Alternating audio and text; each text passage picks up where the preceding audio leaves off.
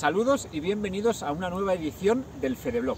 Hoy estamos con una invitada muy especial, María Herráez, que viene de ser una de las mejores eh, madrileñas en la Copa de la Reina.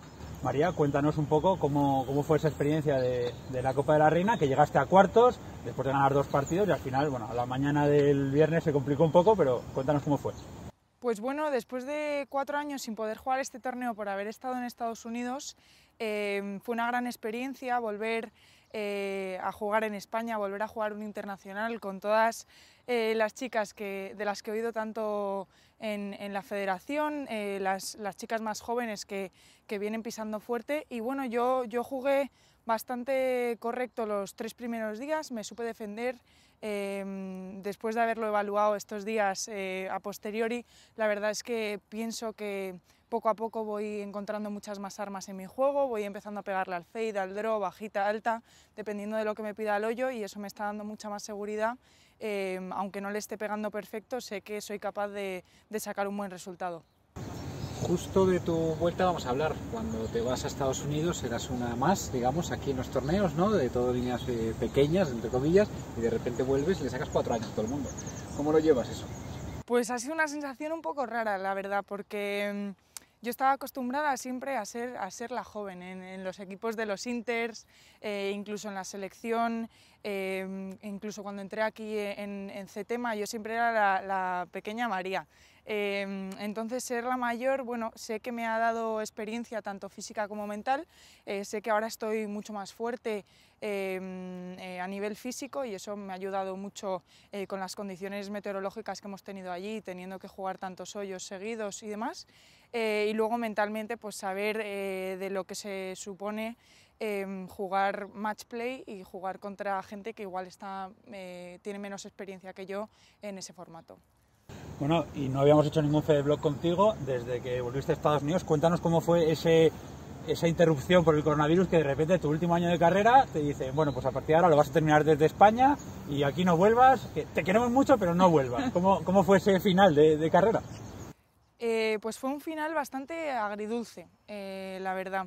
Eh, yo tuve que volverme y hacerme las maletas en, un espacio de 48 horas, eh, desde que mi madre me llamó y me dijo que las cosas no, no estaban muy bien en España y, y, vamos, tuve que dejar hasta un examen a medias eh, en Estados Unidos.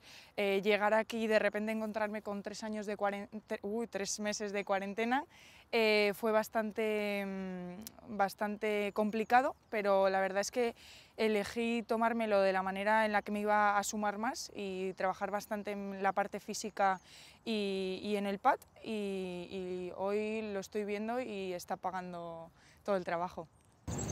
Por último, María, eh, has terminado la carrera, tienes como objetivo pasarte a profesional. Eh, ¿Cuándo y cómo va a ser? O sea, ¿vas a jugar torneos? Ahora, ¿cuál es tu, próximo calendario?